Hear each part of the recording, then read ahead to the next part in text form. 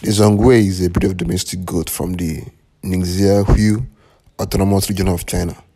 This goat breed has low genetic variability and at maturity they reach a weight of 39 kg and they are also used for cashmere production.